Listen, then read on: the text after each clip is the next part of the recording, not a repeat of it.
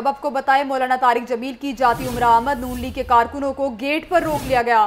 جاتی عمرہ کے اندر جانے کی اجازت دلوائی جائے، کارکنوں کا مطالبہ۔ اس حوالے سے مزید جانے گے فاروق حمزہ سے۔ جی فاروق، بتائیے گا، کیا سیکیورٹی ریزرویشنز تھیں یا کوئی اور وجہ تھی؟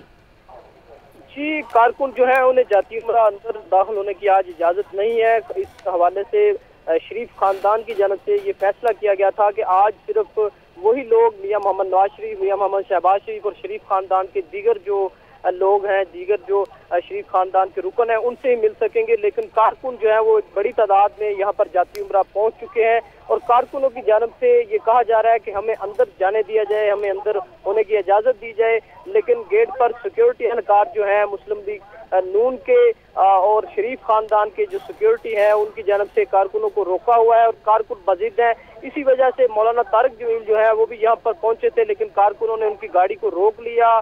اور انہیں کہا کہ ہمیں ساتھ لے کر جانا ہے تو ہی ہم ہم آپ کو بھی اندر جانے دیں گے۔ اس صورت میں مولانا طارق جمیل جو ہیں وہ پھر یہاں سے واپس لوٹ گئے ابھی اس وقت بھی یہاں پر سائرہ افضل تارڑ رانا ارشد سمیت دیگر ذکیہ شاہ نواز اور دیگر جو مسلم لیگ نون کے رہنما ہیں اور شریف خاندان کے عزیز و اقارب جو ہیں ان کی بڑی تعداد باہر کھڑی ہوئی ہے۔ جاتی عمرہ گیٹ کے باہر گاڑیاں جو ہیں ان کی لمبی قطاریں لگی ہوئی ہیں۔ نون لیگ کارکنان کو فی الحال اندر جانے نہیں دیا جا رہا۔ شکریہ فاروق حمزہ آپ کا۔